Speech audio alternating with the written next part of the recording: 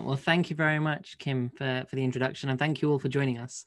Uh, it's a pleasure to have you all uh, join us for this session. Uh, and really, for me, uh, I want to try and keep my uh, comments and my uh, my me speaking to a minimum because we've we're joined by four of our fantastic cohort. so before we um, jump into the into some slides, I thought it'd be very useful for everyone to kind of just briefly introduce themselves. So I'm Dr. Qasim Rafiq. I'm an associate professor in the department and also the program director for uh, this particular program in uh, the manufacture and commercialization of stem cell and gene therapies. So I'll just go in order of who I can see on my screen. So I'm going to ask Lihi. Lihi, do you want to just briefly introduce yourself? Yeah, um, I'm Lihi. I'm a current MSc student in the program and I live in London. Fantastic. Thank you, Lihi. Uh, Pierre, do you want to go next? Yep. Hi, everyone. Uh, my name is Pierre. I'm a student here at the MSc program for cell and gene therapies, and I have a background in biomedical sciences. Fantastic. Uh, Charlotte, do you want to go next? Yep. Hi, everyone. I'm Charlotte. Um, I'm from London. I grew up here. I'm still studying here. Um, and my background is the Arts and Sciences degree at UCL. Fantastic. And Tamara? Hi, everyone. I'm Tamara, and my background is in biochemistry, and I'm an MSc student here. Fantastic. Uh, so uh, we're really delighted to be joined by, and I have to thank our students for taking the time out of their busy schedules. And I know for the next couple of months, they are extremely busy with, with various assessments and activities, but delighted that they could join us and, uh, and, and join you all to, to kind of share their experiences about the program. So I'm just about to share my screen. Uh, so Kim, if you could uh, let me know verbally if, if that's showing. Yep, that's been great. Perfect. Excellent. Uh, so, uh, welcome all. Uh, I'm just going to give a brief overview of the program. Um, I think it's always helpful. Some of you, I think, would maybe have seen some of these slides. Uh, some of you, uh, this may be the first time, so I thought it's useful um, to give an overview of the program before handing it over to our students. So, um, let me just make sure it's working. So the agenda for today's session is to give an overview of the program, uh, and then really at that point to hand it to our uh, current cohort of MSc students. So they'll all be kind of giving some background to themselves and, and their motivations, why they took the program, their current thoughts about it. Uh, and then we want to have an open Q&A. Um, so feel free to put, you know, start typing your questions in from now or as it as we go through the session, you know, feel free to put in questions. And then certainly we, we want to dedicate at least 20 to 30 minutes at the end purely for uh, discussion. I've got questions for our, for our students that I'd like to get their input in that may be useful for prospective applicants, but also I'm sure many of you will have questions as well. Uh, and then uh, at the end, we'll have a just quick wrap up, and then um, Kim can give you a bit more detail about where you can find certain information, where you can get the recording afterwards, and so on as well. Okay, so just to kickstart with the program and, and why we established this, this program. So I joined UCL in January 2017, um, and I joined as an associate professor with a focus, or the research focus in cell and gene therapy manufacturing. But really, for me, as much as I love the research and I love working with companies and, and so on, the, my main passion is teaching. And my main passion is kind of training the next generation of engineers and scientists to lead in this field. And for me, when I joined, I remember speaking to the head of department, Professor Gary Lyon, saying we need to create a new master's program that addresses these issues in this space because this is going to be a huge sector and it was already you know developing into a, a large sector uh, and that's only increased in the last few years and certainly in the last few months since covid. Um, there's been a huge amount of investment that's gone in and what is absolutely the case and our students can attest to this because they've heard from lots of expert speakers is that the demand for new graduates and for experts in this field is so high but the supply is minimal. And therefore there's a ripe opportunity for you know some key passionate enthusiastic um, scientists and engineers to really be leaders in this field. And so it's kind of really uh, an emerging opportunity where you can get in pretty much at ground zero and shape the future of this field which will almost certainly be around for the next 20 30 50 years. And hopefully longer because i think these are curative therapies and uh, uh, and uh, and medicines, which will, for me, transform the way we deliver and think about healthcare moving forward. It also relates very fundamentally to what we call a clinically pulled high value manufacturing activity. And that's always very important for any economy. So you would have seen in the last few months with COVID, the government's announced huge amounts of investment into uh, a center, for example, in Braintree in Essex for uh, vaccine. And then in, in the next two years, we'll transition into cell and gene therapy manufacturing, uh, particularly for viral vectors and so on. Uh, and there's already a huge amount of investment going into various UK sites around the country for advanced therapeutics. And that's important for the UK economy and for the global economy. Any country wants to have a high value manufacturing activity where you've got skilled individuals, contributes to the local economy, but also improves the national and global health and wealth. And so advanced therapeutics and particularly stem cell and gene therapies are very much at the forefront of that activity.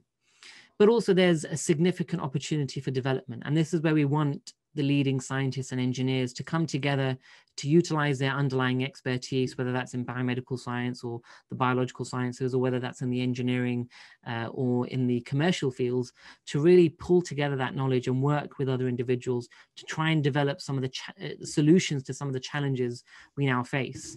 And that's really highlighted on this slide, where you look at the price of these therapies, and we've got um, each of these therapies have been approved by one or more international regulators, uh, but you look at the prices of them, and clearly you could probably buy, I wouldn't say in London, but you could probably buy a house uh, or put down certainly a mortgage for uh, a house uh, around the rest of the UK with a single dose for each one of these therapies. So we have Prochymal, a mesenchymal stem cell product, uh, which had a list price of $200,000, Kymriah, a CAR T product, uh, which is $475,000, uh, Glybera, over a million, uh, and Provenge, which is over $93,000.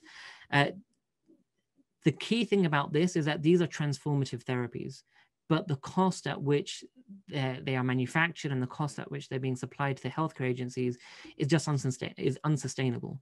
And that's really the focus of how we can reduce the cost of these therapies by improving their manufacture, by thinking about novel uh, business models or pricing strategies to make them more accessible. And ultimately, how can we try and improve global accessibility to these transformative therapies? This was actually highlighted by the Commissioner Gottlieb of the FDA. So this is, uh, or he recently resigned, I think, in the last year. But Commissioner Gottlieb of the FDA is kind of the, the most senior person within the US Food and Drug Administration, the US regulator. And in a speech back in uh, May 2018 uh, to the Alliance of Regenerative Medicine uh, annual meeting board, he highlighted two key things. He highlighted that the greater challenge in cell and gene therapies is around the limitation in manufacturing capability and that there is a need for scalable manufacturing processes. And when you have the regulator, or the probably the most important, or certainly the largest global regulator, making these comments that there has to be a focus on manufacturing and developing scalable opportunities, then you know everyone's ears start to prick up and listen because you know that that is you know a, a key important opportunity for growth and development and addressing the need in this space. This was further highlighted by one of the UK reports in advanced therapies manufacturing. Uh, and, and there specifically in that report, they highlighted the critical skills shortage.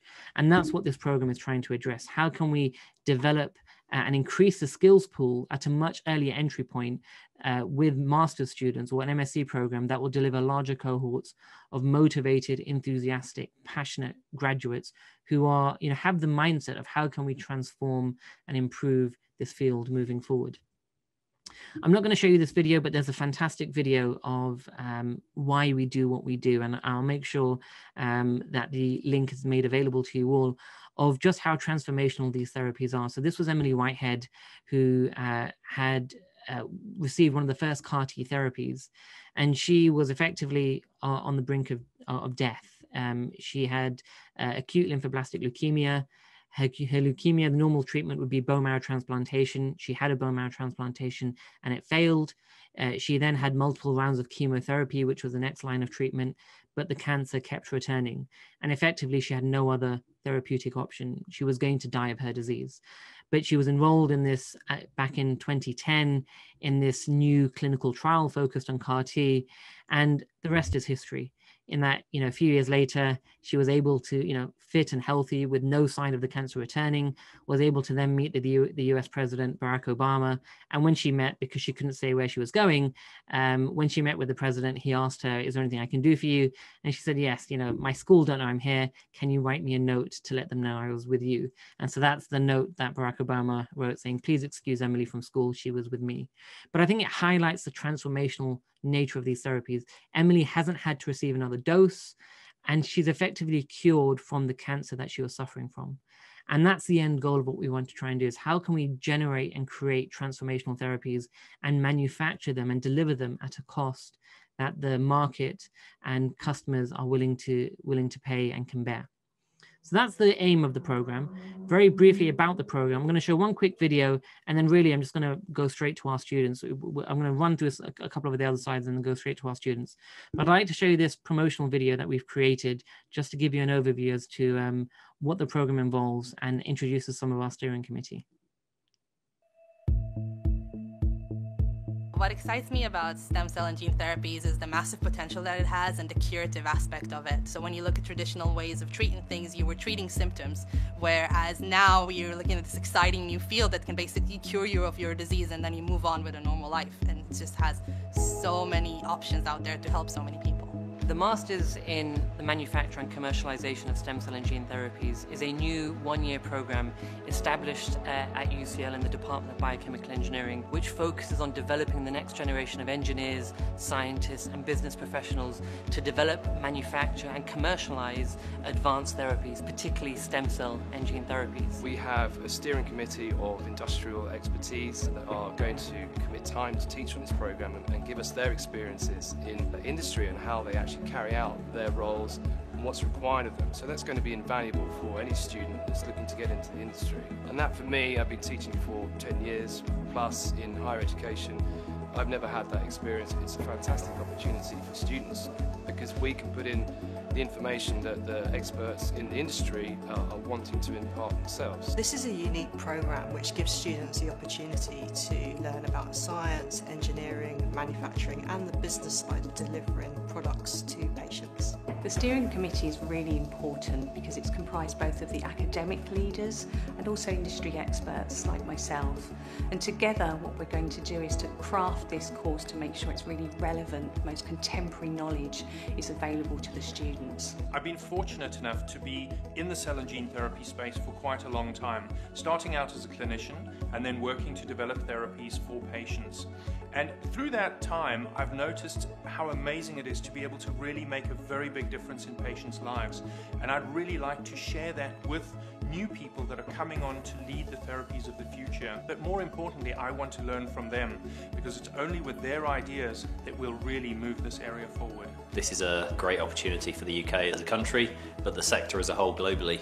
And it has a specific need for skill right across the, uh, the, the skill set for what is required in the industry. The good thing about this program is that we're not making the students ready for one kind of a job. On the contrary, we'll make the students be aware uh, that they have different opportunities because not only, for example, we're gonna teach them research in the lab, they're gonna be doing cost analysis, commercialization. So when they will finish, they can go to a company and then within the company, they can work in different sectors like legislation, uh, bioprocessing, analytics, preclinical, and even commercialization.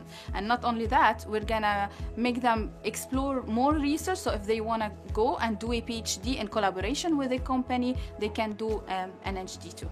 There's a massive impact of industry into this degree. So there's a massive connection, which as a master student, so anyone in academy, that's what you want to have. You want to know where you're going to be working in the future. You want to see what they want, what they need, what, they, what their challenges are, and how you can learn about how to solve them. This program allows us to understand and appreciate all factors which go into manufacturing and developing these advanced therapies. So that includes ethics, regulations, and the initial manufacturing and commercialization. Essentially optimizing the manufacturing process, keeping in mind all of these factors in order to create an advanced therapy for the patient at an affordable price for the healthcare system and for society as a whole.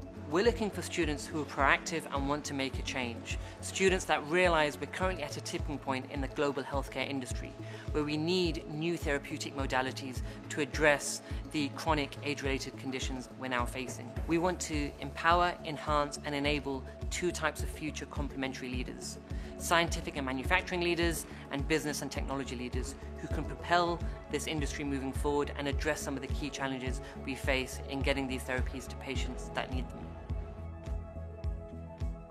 Okay, so hopefully that's uh, giving you a good overview of the program itself. So really the focus is around generating the, the, the, the, next generation of leaders within this space.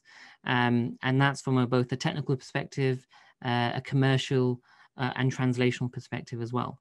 Um, so as I mentioned, we focused on you know the scientific and manufacturing leaders, but also the business and technology leaders as well. And we try and we've developed a program that we think hopefully complements the the commercial aspects as well as the more technical, scientific, and manufacturing aspects.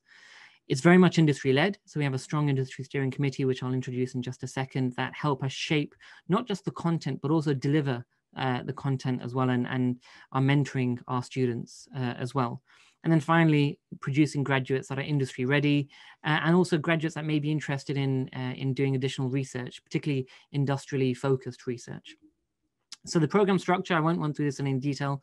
Um, this isn't that type of session, but we've effectively comprised of six modules. These are all brand new modules. We didn't want to take existing modules because we didn't think they were a good fit. Uh, and we wanted to create content that was brand new, that was specific for what uh, industry felt was critical, but we also felt was important that the students who are going to be graduating from this uh, would need to, to address some of the challenges of the future.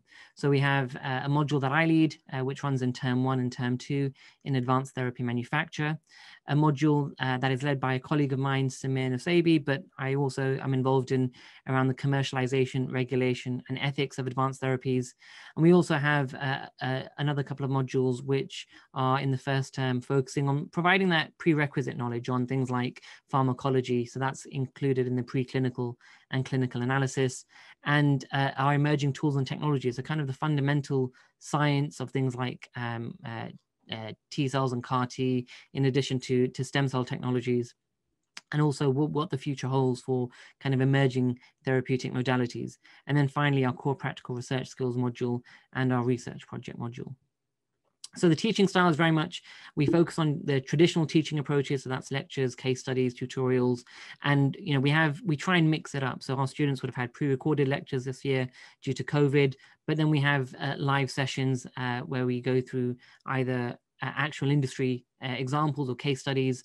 Uh, and we'll be doing more of that this term as we go into some of the business case studies uh, and, uh, and some of the manufacturing case studies with our industry advisory board as well but also it's very much focused on real world outcomes and teachings and assessments. So uh, our students, they're getting ready and I say they're busy over the next few months because one of the key assessments they have for one of the modules is presenting to actual dragons. So they'll be coming up with a, uh, an, a business idea um, focused on perhaps a novel therapeutic or a novel service uh, within the advanced therapy space and then pitching that to actual uh, dragons. So some of them may be from our industrial steering committee, but we've also invited specific investors who who do this for a living and who appraise technologies companies and value companies uh, who will be involved in assessing and and and grilling the students in a good way.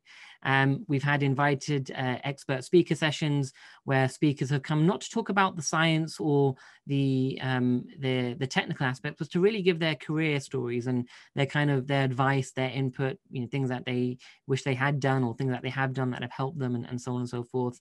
Um, we've had Labster uh, uh, integrated into the program. We had uh, a plan for industry and clinical visits. That's been delayed due to COVID, but it's very much on our agenda for term three. Uh, and we've got uh, two companies lined up at least with a third in the pipeline. We just have to figure out how, in a COVID safe manner, we can get 16 of our students uh, to some of the key uh, companies out there. But that's something we're, we're certainly working on for, for term three. And the plan is to, we've just confirmed a date with the industry steering committee about having an industry steering committee dinner with our students. Again, this is all COVID permitting, but we're looking at a date in July where we hope post vaccination and, and, and, you know, with some warm weather, we've got the opportunity for uh, a face-to-face uh, catch up and, and opportunities for uh, a dinner. And then finally, mentorship. Um, so our students are mentored and they have mentoring sessions from uh, individuals within our steering committee. And it's all leading to this goal of creating leaders of the future.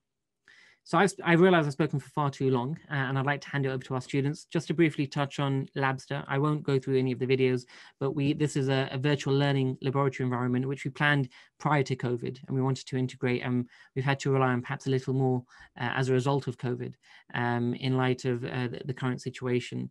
Not that this replaces the, the physical lab-based activity, but it provides students with an opportunity to get an understanding of some of the key techniques and we integrate into the program as well. And then finally, I mentioned some of the, the site visits and so on. These are the companies that we're engaged with and that are very keen to host our students. They've all actually accepted. It's just a case of finding a date or finding a time that they can accommodate up to 16 individuals uh, at any one point. So we might have to figure out, you know, maybe doing it in eight in the morning and eight in the afternoon or something. But they're all very keen. And the reason they're very keen is because they want to recruit our students. Uh, and they've all made that very clear as well. And we also had planned to visit conferences. I'm organizing for our students to attend virtually the Advanced Therapy and Regenerative Medicine Congress, which will be in May this year. That's news to, to our students. I haven't informed them yet, but they'll be attending that, well, will have the opportunity to attend virtually um, after arrangements and discussions with the conference organizers. We had planned to visit Jaguar Land Rover, and I still would like to. Um, at no extra cost to our students, but Jaguar Land Rover have postponed all tours uh, until the summer. So that's something we're, we're waiting to hear back from. And then finally, just to introduce our steering committee. Uh, so we have Dr. Kili, who is recently become the CEO of Antion Biosciences. But just to give you some background with Sven, who chairs up our steering committee, he was formerly the vice president of GSK, where he led uh, their cell and gene therapy division and actually was uh, the primary individual responsible in commercializing Strimvelis, which was uh, one of the first uh, cell and gene therapy products to be approved by the European regulator. And we have a number of other individuals, really kind of people who are who have led the field, who have been extensively involved and involved in leading companies as well. So it's kind of the the great the, the great and the good of of cell and gene therapy across the sector. So with that, I'd like to hand directly to our students. So I think we've got Pierre going first. So Pierre, I'll hand it over to you. Yep, thank you very much, Christine. Uh, so hi everyone, my name is Pierre, as you know by now, and I'm originally from Belgium. So just to give you a little bit of background uh, about myself, I originally started studying um, two years of medicine before deciding to change and completing um, a undergrad degree in biomedical sciences in the Netherlands in Maastricht. And during that time, I had the chance to play around with uh, mesoangioblasts, uh, which are muscle stem cells, and we were looking at um, how to optimize therapies for patients with muscular dystrophies. And then during the last year of my undergrad, I also had the chance to um, intern at a biotech startup in the Netherlands called Neuroplast that was looking to market a mesenchymal stem cell product for patients with spinal cord injuries. Um, and it was really during that one year um, I discovered the, the world of biotech, if you will, um, all the innovation behind it and all the different processes that are involved. And that's really where I fell in love with, with this sector. So currently I'm studying the MSc and uh, later on what's next will I envisage to hopefully carry out a PhD or an MD. Um, I'd be really keen to do it in this department um, and of course staying in the cell and gene therapy sector. Um, and then later on down the line, um, my ultimate aim is to end up in the biotech sector, so working in industry and uh, try and really apply the, the technical and scientific skills that I've learned during my education and applying that to a real world um, scenario in industry. So here I put down five keywords uh, that are really the drivers behind what I what I look for when I choose what I'm studying and what I'm hoping to to um, be able to do in my career. Uh, so first medical, I come from, from, from a medical background, starting in medicine. So I want to use science and my skills and knowledge to help patients and improving health. Um, I really like the scientific engineering background, breaking down uh, mechanisms um, into their composite parts, learning how things work, um, and of course, innovation. Um, I really want to do something that counts, uh, that's going to have an impact on the world, and, and at the same time keep that business side because an innovation which you can't commercialize, which you can't get into patients' hands, it is useless. And it goes without saying, I liked, I look for things that are very multidisciplinary in nature. And let me tell you this, the cell and gene therapy sector in itself is extremely multidisciplinary and ticks off all of those other keywords. And I think this, this master's course really does a good job at capturing all of those keywords um, in the program. And so why this MSc? Well, it's ultra relevant. It really is real world uh, knowledge uh, that we're learning at the moment. To give you an example, I would listen to a podcast from a biotech CEO talking about a new technology. And then two weeks later in lectures, we would cover it. So it really feels what we're learning is really useful. And the steering committee we have who act as mentors as well um, are really a great addition to the program. Um, it's multidisciplinary. It goes without saying. The course is more or less funnel structured. So we'll start a bit more general uh, with a scientific background to get everyone up to speed. And then once we have the scientific knowledge, we can understand how we can manufacture these therapies. And now where me and my colleagues are at the stage where we're learning how can we commercialize um, these therapies. The network opportunities, I came from a university in Europe. I've just arrived here in London and the network opportunities are fantastic. Um, the staff in, in itself is fantastic and just the steering committee and the the people that email us asking us for internships and for job interviews it's really fantastic it's it's it's it's worth a lot um, at our stage in our careers and lastly great team i mean the staff are really they really feels like they care uh, they really want us to succeed and it's fantastic to work with a group of 12 or 15 um, colleagues that are all from very different backgrounds, but all equally motivated and, and like-minded to yourself. Um, and so really for me, this, this course has really delivered on its promises. Um, and I'd be happy to answer any, any questions you may have later on. But for me, it's, it's a lot of positive. Thank you. Thank you very much for that, Pierre. Um, I think next we've got Charlotte. Yeah, um, so hello everyone, I'm Charlotte um, and I previously studied the Bachelor of Arts and Sciences degree at UCL. So I took a major in health and environment and minded in cultures. Um, and then I also had some previous work experience in marketing, communications and operations at two different startup companies. Um, so I think here my advice would be if you're maybe joining today and you haven't done like your standard science or engineering degree, don't let that put you off from applying or you might think that might kind of come against you at some point. Um, I know that was kind of a concern that I had before starting, um, but I'm really glad that I chose this course um, and I'm kind of doing well so far. So yeah, definitely don't let that put you off. Um, then in terms of why I wanted to choose this program specifically, it's very interdisciplinary. My undergrad degree was very interdisciplinary. I had that mix between like sciences, humanities. Um, so I really find that this course is like the perfect opportunity to learn both about the science and the technical knowledge that's required. Um, but then you get to really mix that with the commercial and regulatory aspects. So as Pierre said, it's really good if you're looking for something that's like more multidisciplinary. Um, it's also a really great course to develop the skills that you'll need um, for the industry. And I think the assessments, they really focus on this. So at the moment, we've recently got started on a technical briefing document. Um, you heard a bit more about the business plan, and then we've got the Dragon's Den pitch that's coming up. Um, so yeah, it's it's great for learning so many different skills that are going to be really important in the future for us. Um, and then we have the industry steering committee. So I think it's great that you've been able to see who we have. Um, and then each time we get a mentor, so having them is so, so valuable. Um, and I think one thing that really, really stood out to me when we met them back in um, October, we had a meet and greet session. And just as excited as we all were to meet them, they were so excited to meet us too. Um, so I think that's nice too, just knowing that the employability prospects after you graduate are quite good. Um, and that there's a whole bunch of people out there who are really excited to meet us and have us working in the industry. Um, then what I've enjoyed about the program so far, I think something that I really like is that it's really fast paced and challenging. Um, but this is in a good way. I made sure I wrote that down. Um, so we're really encouraged to think critically, really go that one step further. Um, and I think it's really rewarding if you complete um, a piece of coursework that maybe is a little bit challenging once you've done it um, it's really, really good to feel that you've pushed yourself. And then I think once you graduate, we're all going to be in a really good position.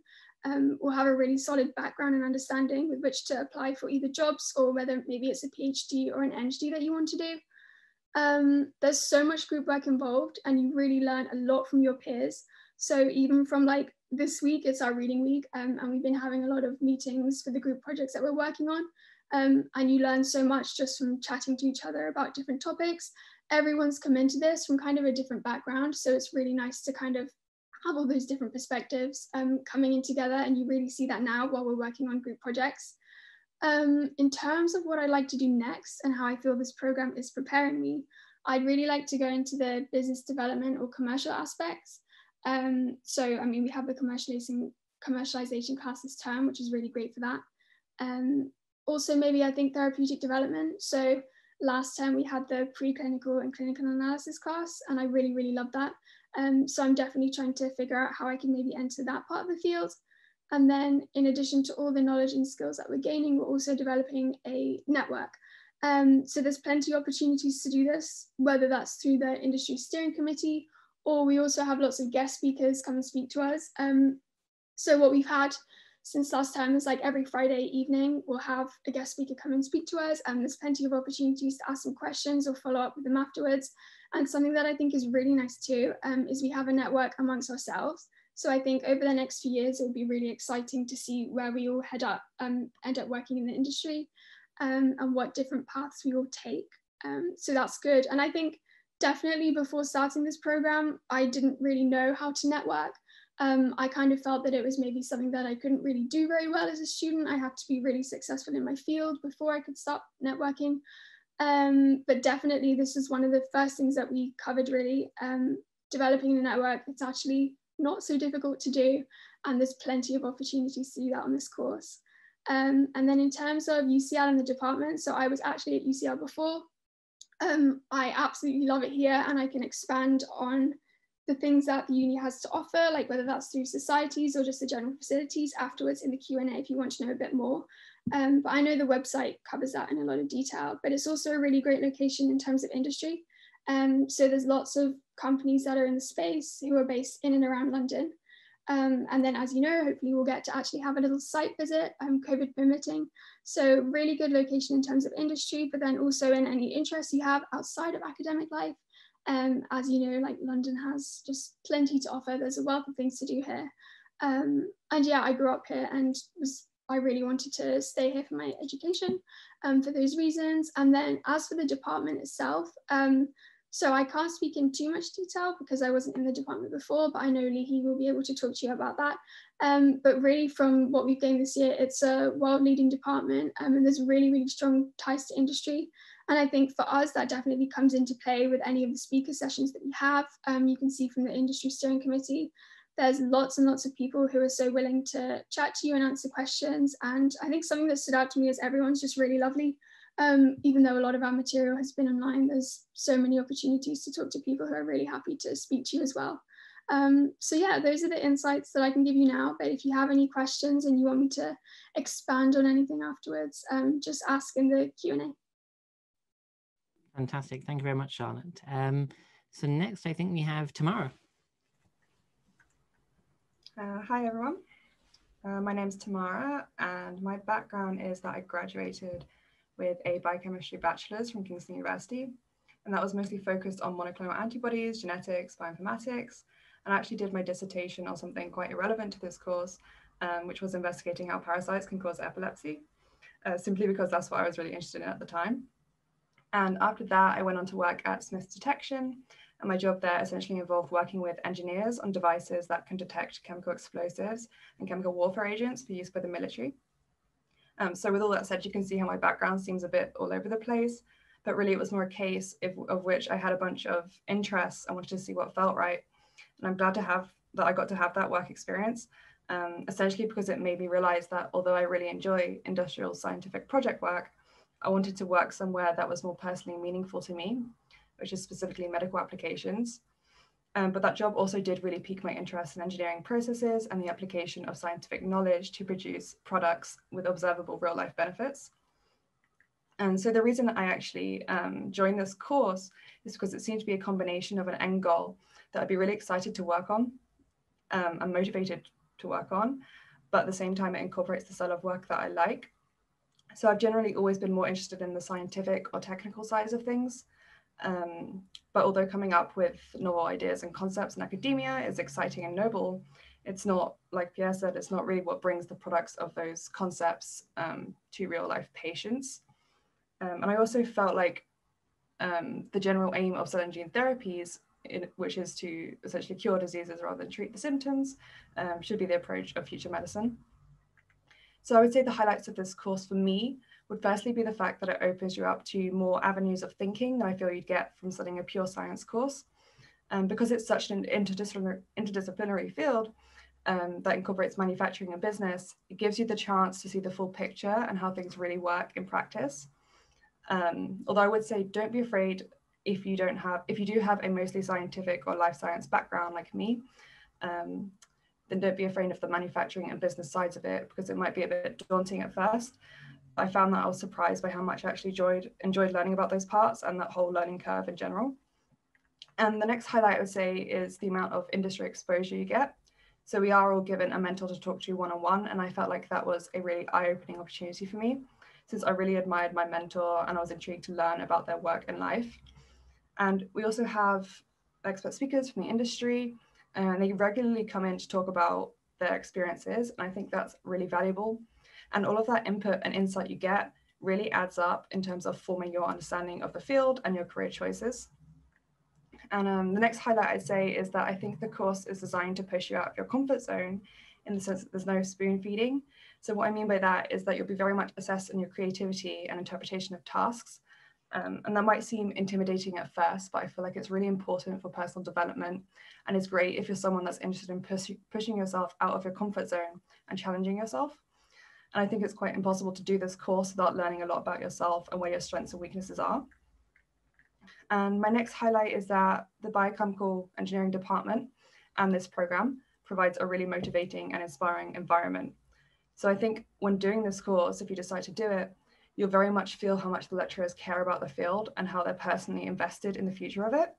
And even the cohort I'm in have all shown a lot of passion and excitement about the field too, which is really um, inspiring and motivating to be around. And lastly, I would say that the program is highly collaborative and engaging, even though it's mostly been online this year.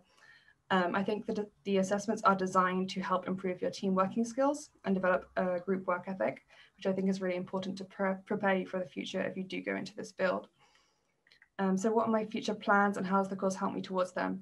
So firstly, I'm sure that I want to work in the cell and gene therapy industry and potentially do a PhD later on if I still want to lean towards the more technical side of things. Um, in terms of a specific job, I like the idea of working as a process development scientist and a conversation with my mentor is actually what helped me come to that idea. Um, however, I'm still not really set on anything. I plan to try a few different areas to see what I'm really suited to in the long run.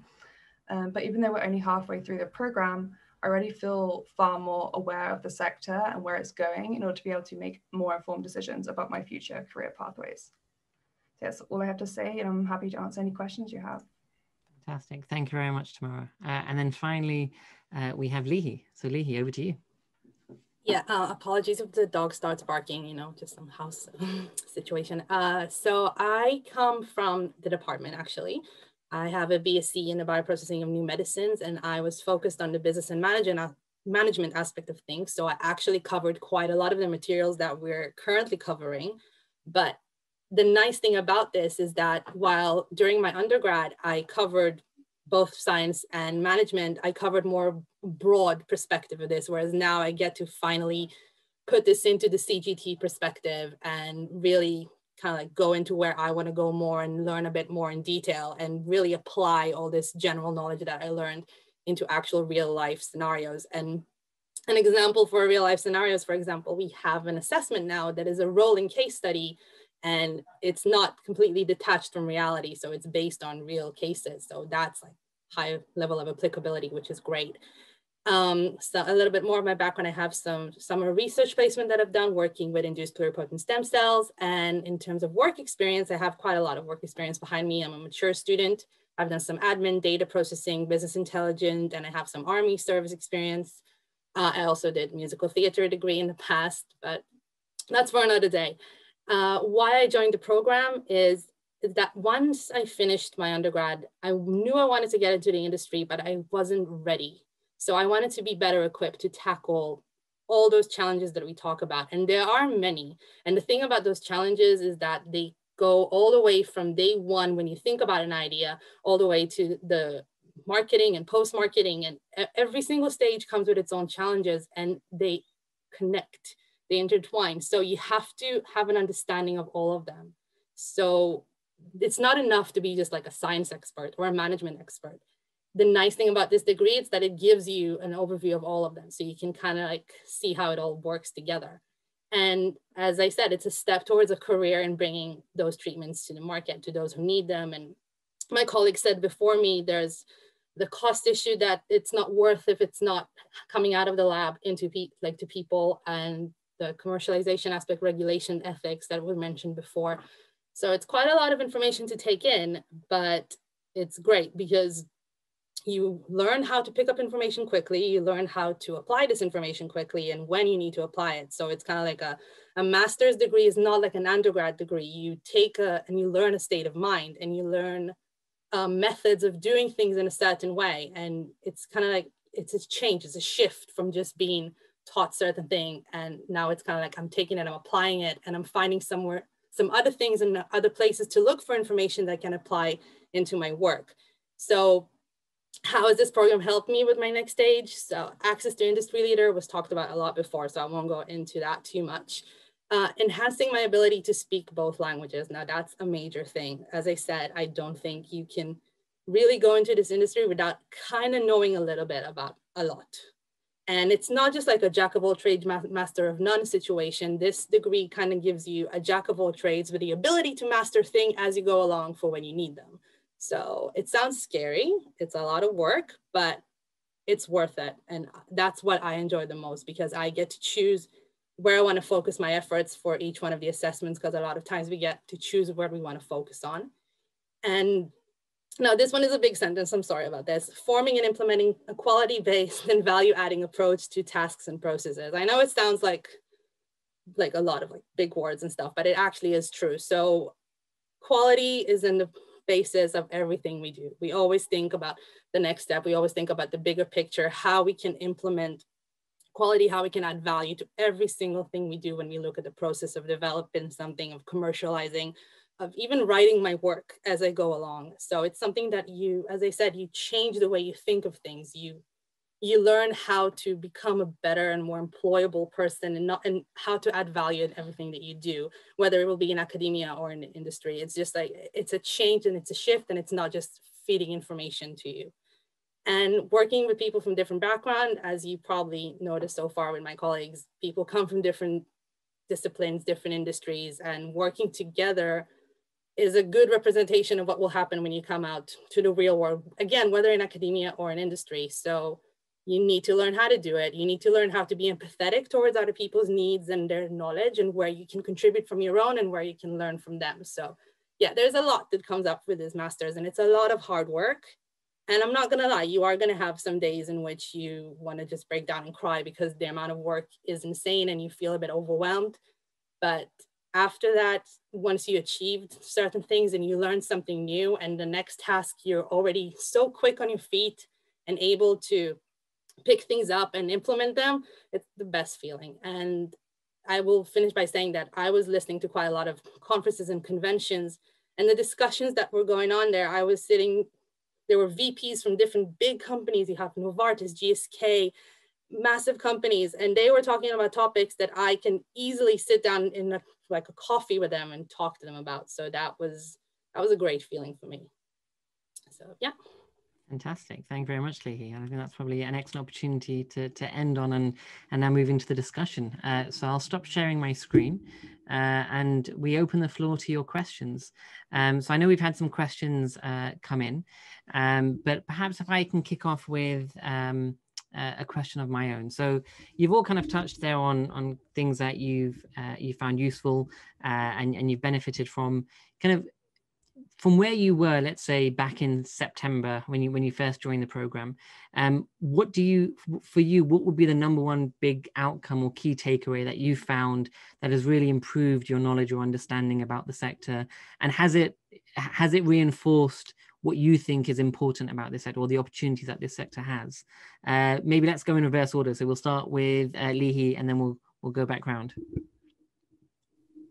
So yeah, I kind of touched on it. It's the ability to put quality and value into every single one of my actions in every single aspect of my life. So that is the biggest thing because we touched on everything from clinical, now we're doing commercialization, we're looking at manufacturing. For me, this is the biggest thing that this degree is giving me, the ability to look at every one of those aspects and see how I can improve and build a process with that. And it's that it's just that state of mind. It's very hard to explain, but it's a state of mind that you just develop. And now I feel so much more prepared to go into industry and, and lead a team and, and, and then lead a company and just develop something that can actually work. So state of mind. Sounds good. Uh, Tamara, how about yourself? I would actually say something similar to Lihi in the sense that I feel like with all the things that we've learned about Lean Six Sigma and manufacturing, I can look at things in a way that I'm constantly analyzing to see if there's ways to improve it or to make things more efficient. And that's something I'd never thought about in as much depth before. I think is a really valuable skill to have. Fantastic. Thank you, Tamara. Uh, Charlotte. Um, I also really agree with what Lee and Tamara have said. I think for me, the main thing, and I'm going to go with something that isn't so much like very specifically related to course content, but I think a huge thing that I've gained is independence of thought. And that comes through the fact that assessments can be challenging. They encourage, encourage you to think outside of the box. Um, but with that, you definitely gain a lot of independence in your decisions. We've had the choice to kind of choose a general topic that we're going to write about for an assessment. Um, there's a lot of time spent on deciding what you're going to include, um, which can be quite time consuming. But then as a result, I think afterwards you kind of look back and think like, wow, I actually managed to do that. Um, and then with gaining independence of thought, there comes a lot of other things. I think you become more confident in your work in other ways. You notice it come up in other aspects, I think. Excellent. And uh, and Pierre, we'll, we'll hand, hand it over to you. Yeah, I mean, I agree with everything that, that's been said. And for me, um, what I would also add is what this course has really been uh, giving me is just kind of a bird's eye view of the cell and genes therapy sector. Um, some of you might be familiar with stem cells, other with viruses and the, some of the processes as I was before starting. Um, but the way this course is structured, it, it, really, like I said, is like a funnel. It will start, we'll start general and then progressively we'll go into the nitty and gritty in terms of manufacturing and commercialization. And just from, what has it been, four, five, going on to six months now of the course, I can listen, I can sit on, on an industry um, webinar where I can listen to a biotech CEO podcast and I can genuinely follow the conversation. I can genuinely understand what they're referring to. And now it's coming to the point where I, I can have some input as well, some opinions on, on certain processes or certain approaches. And that's what I didn't have five months ago. And just in five months, I can now bring my, my thoughts, my opinions, my beginning of an expertise to some of these questions in industry. And I think that's that that shows very clearly in an interview when you're speaking to to companies later on and that's the kind of thing they, they really want and that they're actively looking out for Fantastic. Uh, so we've got a question here from uh, one of our uh, participants uh, around, and, and I'd like to kind of throw it so that whoever wants to answer it can answer it, uh, maybe from different perspectives. So was the assessment breakdown uh, between continuous assessment or coursework versus traditional exams? And, and actually, when you do give your answer, do you prefer traditional exams or do you prefer the continuous assessment or approach? So I don't know who wants to go with that. Um, I can start off. I would say um, we've only had two more traditional exams and then we had two quizzes and they're all done by now. Um, personally, I used to hate exams during my undergrad degree. Um, so I was quite happy to know that on this program we'd have like a lot of different kind of assessments. Um, but I think most of our assessments are definitely coursework. Um, and then within that, they're very different types of coursework. So at the moment we have a technical briefing document, we're working on a review paper. There's a business plan. We've got the Dragon's Den pitch coming up. Um, so yeah, we've only really had two kind of main formal exams um, and two quizzes. So yeah, it's, it's a nice variety, I think.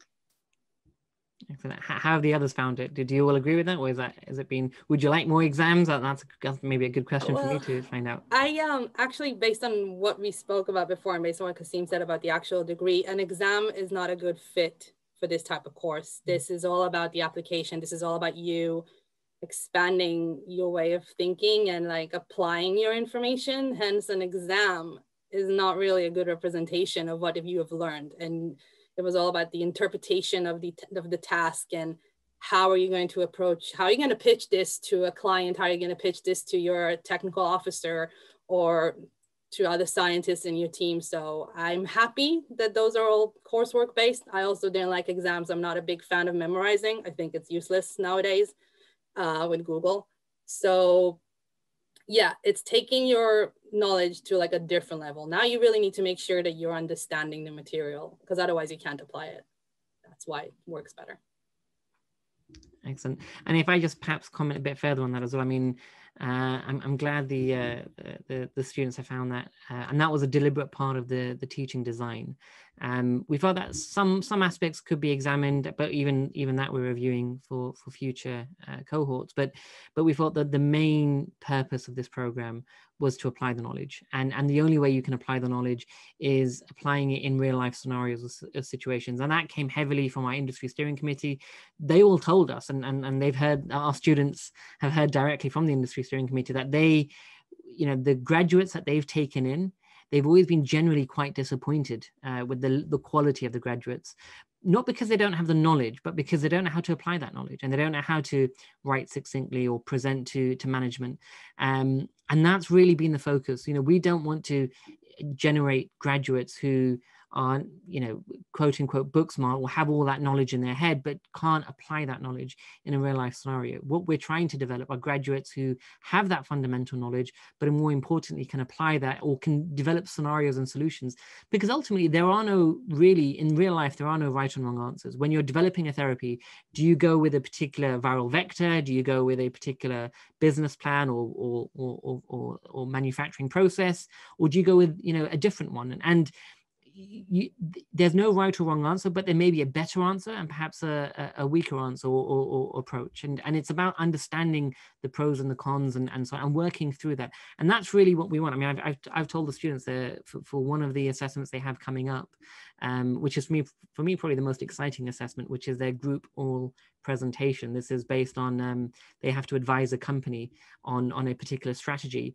That assessment it will change depending on so they've got i think almost two months to, to do it but in between that they'll be having live sessions uh, with a representative from the company i.e me and one of my phd students but they'll be having live sessions where based on their advice the company will take a particular approach and strategy and then in two weeks time they'll have another meeting to see the outcome of their decisions. So it's an actual dynamic live assessment uh, based on the input because that's how life is. And, and i'm trying and we've worked with that um, in in it, with companies uh, and that's really what i want to give that exposure to our students that this is how real life works. You know you you give a, a potential idea you go where you think about it and then the company might implement it and that has particular outcomes and you need to try and identify the best way forward. Um, okay, so we then have uh, another question. Actually, um, I've, I've, seen this come up. Perhaps if I can praise this because I've, um, I've been following this one. It's a question about the backgrounds of the students who are coming onto your program. I think we've got quite a diverse range of people with backgrounds, but perhaps if you, Qasim, you could explain what background you need in yeah. terms of what what you need to have established to be able to take part in the program, and then perhaps the students can talk about what it's like being in a program with people from different backgrounds and what you bring. Exactly. Yeah. So I, I, think that's the next way of doing it. So just to give you an idea of the of the background we're looking for. Um, so we've kept it generally quite broad. Uh, so we're, we're, we're accepting students with a, a science background. So for example, uh, in the traditionally in the biological sciences or the, or the chemical sciences, so things like uh, biomedical science, biochemistry, immunology, virology, um, and so on. In addition to chemistry and and and, and other similar courses. Um, as well as engineering students. So students who come from perhaps chemical engineering or mechanical engineering, uh, or even uh, uh, computer science, because there's a huge need in this sector for data anal analysts and, uh, and, and so on. And that's something the students will be covering, ironically, next week in more detail. Um, and then in addition to that, uh, the focus around uh, those that come from a business background. Um, so if you look on the website, we've got some information there about uh, the uh, the background of students. We're generally quite open. Um, and do you know drop an inquiry to me or, or to one of my colleagues um, if you are interested i'm not sure about the, the fit but generally we're quite open and we also accept students uh, who perhaps have lower grades than they may have expected from their undergraduate program, but then have industrial experience. Um, and that's something that we're very keen because again, we feel that that industrial experience is very important from this sector. But I think it's probably better to hear from the students. Obviously, you've all come from different backgrounds and you're working with individuals from different backgrounds. How have you found it? And do you feel that you need a strong science or engineering or commercial background for this course? Um, well, I think I came into this course probably of everyone who's on the course now. I would have had the least amount of science or engineering based subjects based on my undergraduate degree. Um, I definitely don't feel like it's come against me. Um, so like it's an it's an understandable concern. It's a concern that I had before joining. Um, but I think definitely after today's webinar, don't let that be a concern that you continue to have. Um, and I think it's really nice just that everyone's come in from different backgrounds because you can share all your different perspectives. Um, someone who's maybe had more of a background in the commercial side of things will maybe be a bit stronger with that material at the start. Um, but yeah, it's it's just really nice to have a mix of everyone. Um, and yeah, don't don't let it be a concern. I think. I don't know if anyone else wants to jump in. Yeah, I would agree with Charlotte because I came from a biochemistry background as, as well. I was really worried that I wouldn't be able to cope very well with the manufacturing business. But I feel like all, all that really happens is that whatever your background is, it gives you a slight head start. But in the end, you come together and you're able to catch up with the other sides as well. Like you don't get left behind just because you don't have a strong background in one of the disciplines that the teaching and and I, I, think I just want to yeah just touch on that because I think for me it's indicative of real life. No one has the perfect skill set for a specific uh, role. Um, you know, there's always there's always learning that's required, and and importantly, what we try to recreate to some extent, and I hope that we've managed to do this in some way for our students, is to be able to mimic what life would be like in a real life company industrial scenario and setting where you are often working with people with vastly different backgrounds um, generally you know scientists and engineers and, and maybe some of the, the commercial uh, individuals and so on. And that's something that we certainly want to try and mimic in terms of the cohort and the makeup. It really does i think enrich uh, the the the learning and, and the the the the assessments and so on as well. But for me, the assessments aren't designed, and I've said this to our students, you know, they're not designed to catch the students out or you know find a way to, to penalize them you know if if there was a way to give everyone 100% if the work deserved it absolutely because we see that actually and i'm i'm genuinely excited about this particular cohort that we have because we'll have to explain it to our external examiner why we've got so many high marks but for me it's because our students deserve it. And and and they've done a phenomenal job and they've really I think, embraced that that kind of enrichment that they get from le- working with each other. And that is absolutely indicative of real life, especially in the cell and gene therapy field. You cannot develop solutions in isolation. And that includes companies. You know, many companies are working together in a pre competitive environment uh, because they realize that they don't have all the solutions and, and they, they can't invest in all of the solutions. So they're having to work with perhaps competitors to try and develop new technologies or new ways of thinking or working with the regulator to try and convince them of a particular scenario and approach. And that does require negotiation. It requires, you know, people skills and, and, and the skills that you can only get by working with other individuals. I'm sure at some point, if it hasn't happened already, there's going to be fallouts amongst the individuals within their groups or, you know, people not pulling their weight or people not you know understanding and there's going to be you know things lost in translation but in reality that's part of life and that happens all of the time you know we work with a number of collaborators you know many of our collaborators are fantastic but there's been the odd one or two where things haven't you know gone as we would have liked for whatever reason and you have to manage that you have to deal with that because that's the reality of, of the world that we live in so that's what we want to try and um, certainly uh, uh, you know mimic uh, moving forward um, and then there's a question that I could potentially just, just answer very briefly uh, around the MSc class size. Actually, perhaps, do you guys want to give an overview of the class size and how you found it so far and what is, and then I can discuss what the class size might be for, for future cohorts. Yeah, so for, uh, for us this year, I believe it's, it's between 12 and 15 of us, if I'm not mistaken. I think it, we're, we're, there's 15 of us this year, right? 16, 16. You, are missing one. 16. All right. Yeah. So there we go. So there's 16 of us. And um, no, honestly, I think it's a fantastic um, group size.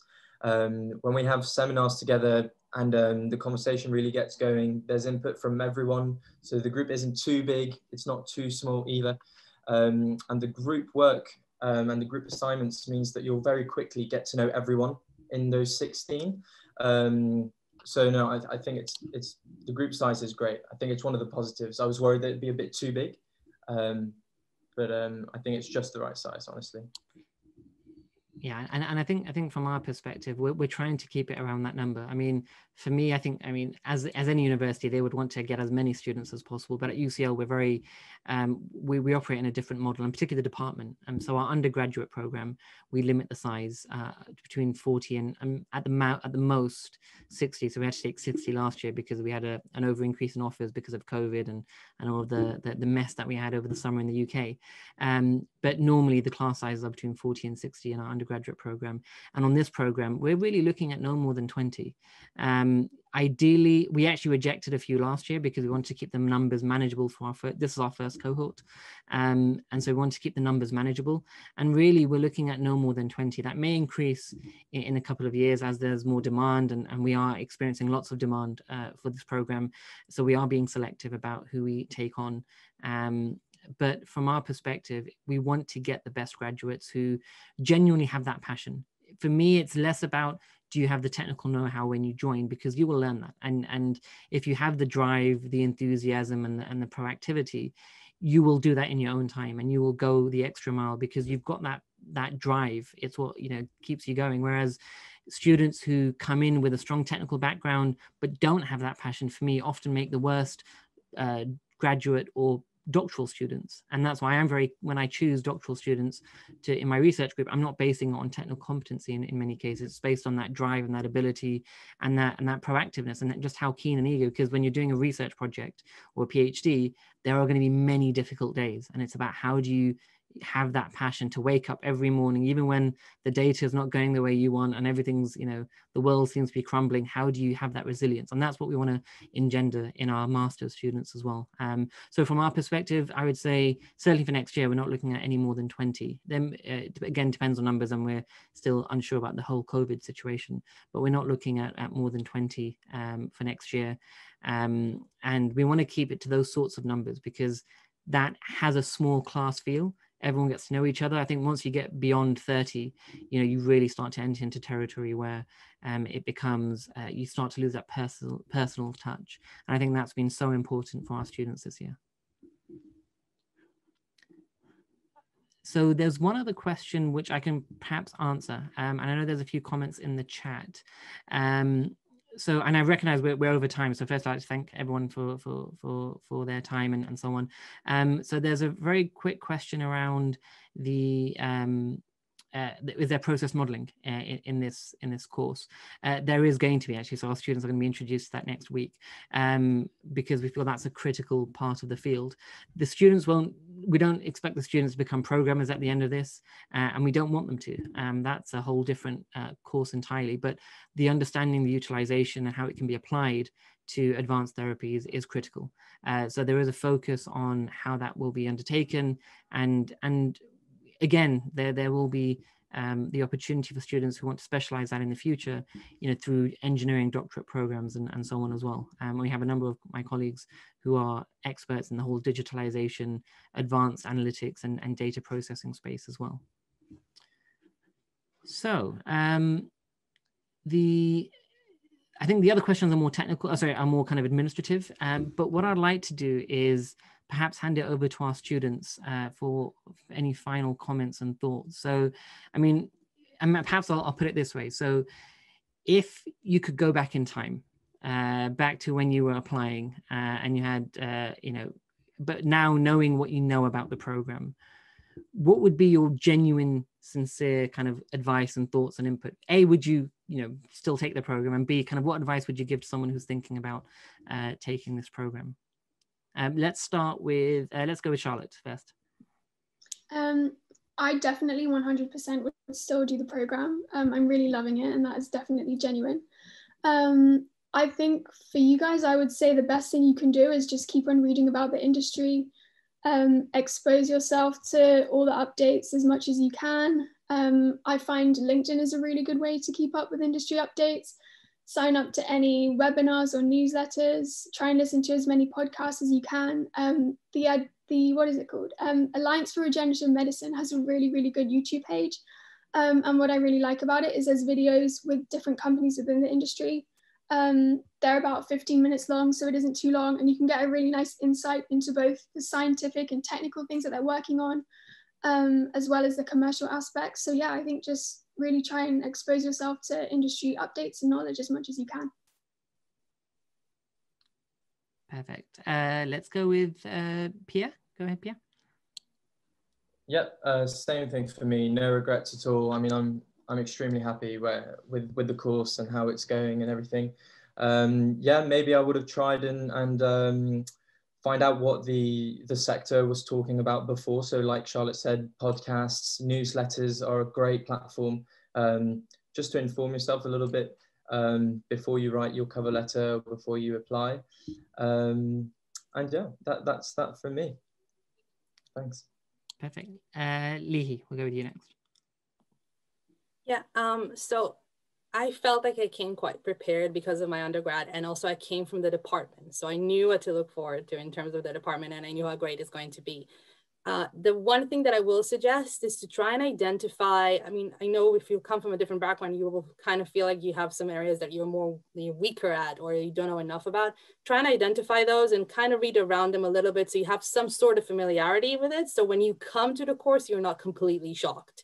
Uh, also, have a different state of mind. Come open-minded to take on a lot of information from a lot of different areas and don't just focus on what you know it's just like that sort of approach can really help you when you get started and you get overwhelmed with a lot of information.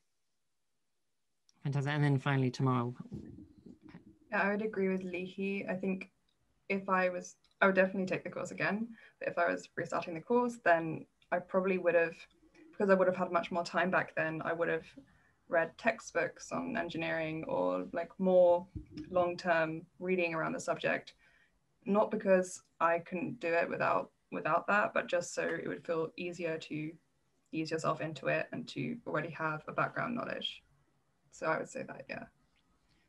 Fantastic. Um, so I, I, recognize we've gone over time. So first I'd like to thank uh, all of you for joining us uh, and for taking the time out to, to hear about the program.